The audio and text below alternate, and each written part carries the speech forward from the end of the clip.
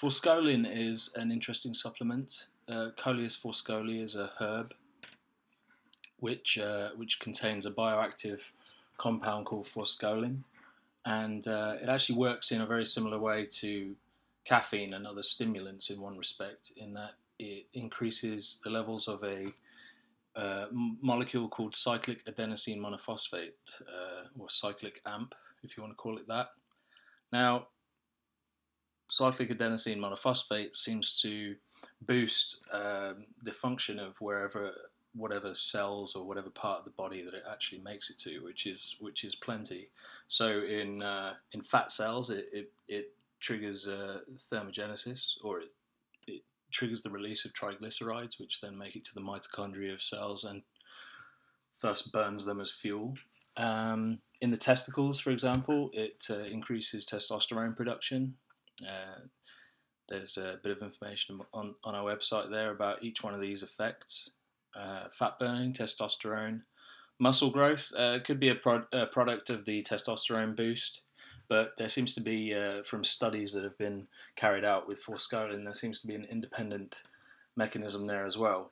Uh, one of the most interesting effects, which I think it's highly underrated for, uh, because it's mostly sold as a fat burner or a testosterone booster, or, or as part of multi ingredient supplements that do those things but one of the most interesting effects is it, its increase in bone mineral strength. It actually it actually has been shown in in a study to, to quite notably increase bone mineral strength, which you know is a is a major part of of any strength or resistance training regime is to have uh, a good base platform of strength in in your skeletal structure. So that's a great effect. Reducing asthma, there's another one. Um, cholesterol balance, and of course energy, which again cyclic AMP is uh, notorious or it's or it's known for for boosting energy and and processes wherever it, it travels to in the body.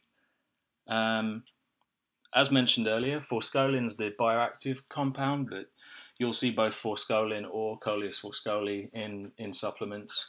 Uh, one thing to note is the dosage then in that case, and that's um, that's important because forskolin is usually, you know, 10% of a Coleus forskohlii extract, uh, which is the parent herb. So if you've got a Coleus forskohlii extract, then you'd want to look for something around the 250 milligram mark, which would give you 25 milligrams of forskolin if you're if you've got a standardized dose, uh, up to 50 milligrams of forskolin, which would again um, equate to 500 milligrams of Coleus forskohlii. Side effect wise, uh, it looks pretty safe. Uh, there's a high ceiling, which means that in tests uh, and studies and whatnot, it's taken high doses to cause any kind of uh, effect, and even then, it's probably stomach acidity and uh, and mild, you know, um, effects that are usually uh, nothing to worry about.